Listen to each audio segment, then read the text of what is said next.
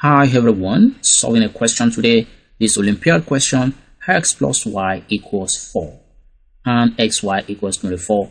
Then what's going to be the value of x and y?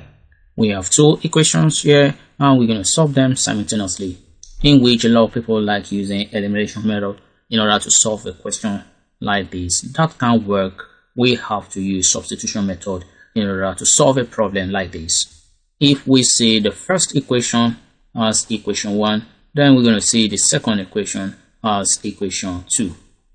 And from equation 1, we can generate another equation by making y subject of formula. Then if we do that, we're going to have y is going to be equal to 4 minus x. Making y subject of formula, then we have minus x at the other side. And we're going to be referring to this as equation 3. Then I need to demarcate this as it is to separate my question from my solution. Now what we're going to do is to substitute equation 3 into equation 2. As we can see, uh, this is equation 2x plus y equals 24. That is, then we're going to substitute equation 3. That is, we're going to change this y. That is, instead of writing y here, we're going to put 4 minus x there. Then we're going to have x into bracket 4 minus x then equals to 24 so what we just did is just substitute for y. Y is 4 minus x here instead of writing the same y then we just put in 4 minus x as the value of y here. And by expansion we're going to have 4x then minus x squared still going to be equal to 24 then if we can bring this inside, we're to have 4x minus x squared minus 24 equals 0. Actually, this is a quadratic equation, so we can rearrange that to be perfectly fit into that. So we just move the x squared to the front here, then followed by plus 4x, then minus 24 equals to 0. In order to get the value of x from this equation, we might not just be able to use factorization in order to get that, but we're going to use quadratic formula to get what the value of x is going to be from here, which is minus b plus or minus square root of b squared minus 4ac, then over to a, and that is going to be the value of x for this equation. Then from this equation, the value of a is going to be minus 1 and the value of b equals that is coefficient of x that is 4 then the value of c that is the constant a that's going to be minus 24 putting this into the formula we're going to have minus 4 plus or minus then the square root of that's going to be 16 that is 4 square minus 4 into minus 1 then minus 24 which is c or on the square root then over 2a a. Is equal to minus 1 of minus 1 here and if this is done carefully we have minus 4 plus or minus square root of 16 minus 96 everything over minus 2 because 2 times minus 1 will give us minus 2 then we're going to have minus 4 plus or minus square root of minus 80 everything over minus 2 dealing with this minus at the level of the numerator the minus goes up and we're going to have minus then we're going to have brackets minus 4 everything that we have before. Then under the square root of minus 80 bracket close then we're going to have over 2 because the minus at the level of the numerator has gone up here. Then the, this becomes we're going to have 4 here because minus that is times another minus here definitely is going to give us positive 4 that's why we have it here then this minus multiplied by plus. Minus times plus is going to give us minus here then this minus multiplied by this minus here is going to give us plus. So that's why this hasn't changed. We still have plus or minus here after we've multiplied by the minus outside the parentheses here we can now split whatever we have under the square root here which is equal to 4 plus or minus. Then it's going to be square root of minus 1 first. Then multiply by 16 then multiply by 5 everything all over 2 which is invariably the same thing as 4 plus or minus square root of minus 1 separated then square root of 16 which is 4 then square root of 5 which mean square root of 5 over 2 actually square root of minus 80 is just a complex value. That is why we might need to separate this complex aspect as we have it here minus that is square root of minus 1 which is being referred to as i now the value of x now becomes 4 plus or minus 4 because the square root of 16 here is just 4 here. And this 5 the root of 5 is still root of 5 the square root of minus 1 becomes i and that is exactly what it is then everything over 2 definitely we can bring out the common number here which is 2 is common to 4 2 is common to 4 bring it out factorize it out so that we can have something to simplify here. Then we have 2 outside there. Then 2 plus or minus 2 root of 5 i then we can easily see that something can go here. 2 goes there that's going to be 1 2 goes there that's going to be another 1 at the end of the day the value of x from this equation is exactly 2 that is 2 plus or minus. Then we have another 2 square root of 5 then i which is the complex number. Therefore if this is the value of x that is 2 plus or minus 2 root of 5i then we need to find the value of y. So what's going to be the value of y from this equation?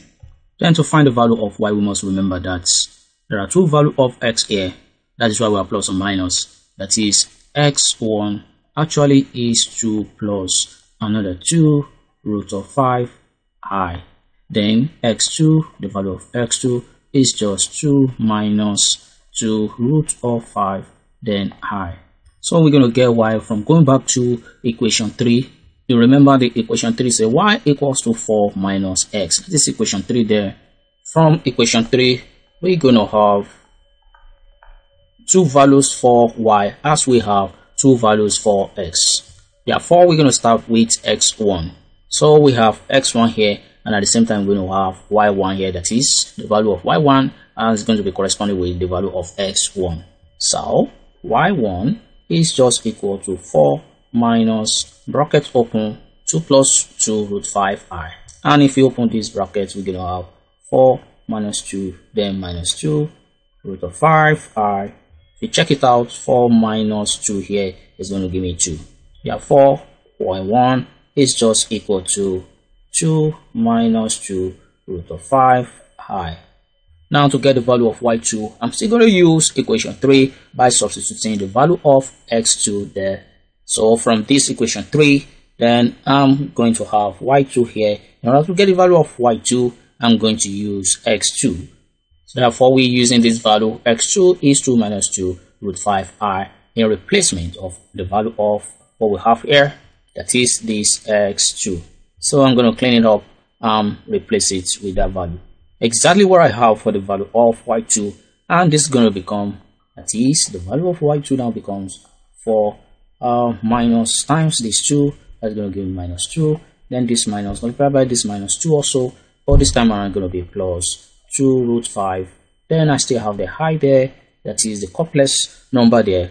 And if you do this carefully what are you going to have 4 minus 2 is going to result into 2 so my y2 is now equal to 2 plus 2 root 5 then i and this is the final answer for y2 and at the same time the final answer for y1 for this value of x1 and x2 and the value of y1 and y2 let's quickly check if all these values are actually correct or not. We might need to verify that. We're going to verify for x1 and y1 in these two equations. So what are we going to do? Wherever we find x in the equation we're going to supply this value there. Then wherever we find y we're going to insert this exact value there. Now if we do that what are we going to have? And instead of writing x here i insert the value. So this is x and this is y. This is x and this is y. Then by the time we have both of them together are we going to get 4 or not until we do that? Let's see. Actually by mere looking anybody can see that plus 2 root 5i and then minus 2 root 5i is going to cancel each other here. And we're going to be left with 2 here plus another 2 here. Definitely this is 4 so 4 actually equals to 4 verified. This shows that the value of x and y there are actually correct. And that is for equation 1 then for equation 2 i'm going to do the same thing what i did in equation 1 So xy equals 24. So what I'm going to do here is that wherever I find y x here, I'm going to put the value of x there. Then wherever I find y in this equation, I'm going to put the value of y1 there and see what I'm going to get. Probably if it's going to be equal to 24 or not. And that is exactly what I did. This is the value of x here and this is the value of y here. So y, so I really want to see if x, y is just going to be equal to 24 or not. I'm going to use mathematical identities to multiply this. Since uh, I have the same value here which is 2 and 2 and I have the same value here which is root of 5i and at the same time I have the same value here. So I'm going to call this one a and I'm refer this to b. This is also a still the same thing and this is also b. Except that the sign that are different. I have plus a and I have minus a. So this mass identity says when I have a plus b in brackets multiplied by the same thing but this time around minus and this is going to result into a square then minus b square. Don't forget I have the different sign in between the brackets. So if I do that carefully here I'm going to have 2 here that is a square that's going to 2 square minus then everything that refers to as b that is me put that in brackets for easy calculation that is 2 then 5 that is root of 5i then all in bracket then the power of 2 is still there then checking this if this is going to be equal to 24. Actually, this is going to be 4. 2 squares, that is 4 minus. So if I'm going to split this, that is this 2 is going to affect this 2, that is 2 square times this 2 is going to affect this root 5, that is 5 square root of 5 square. And this 2 is this power of 2 is going to affect this r, and I have i square. Bracket close. And on the other way, I'm still going to have 4 here minus, put in bracket also, that's going to be 4 also here 10 times. What am I going to have here? This 2 is going to remove this square root so I'm having 5 here times minus 1 here. Then I close the bracket also. Remember always remember that uh, square root of minus 1 is the one that is exactly i. Then if you square this actually you also square this. And what you actually have is square root of minus 1 times another square root of minus 1 the same thing as i square. And at the end of the day it's going to give you minus 1 minus 1 is the final answer for that. And that is why we have minus 1 here exactly. And at the end of the day I have 4 here minus into brackets minus 20 and 4 minus minus 20 that's going to be 4 plus 20 so it's going to be 4 plus 20 which is exactly the same thing as 24 exactly the same thing as 24 exactly the same thing as 24 so 24 equals to 24 verified. Once this is verified, it shows that the value of x1, x2, y1, y2 are all correct.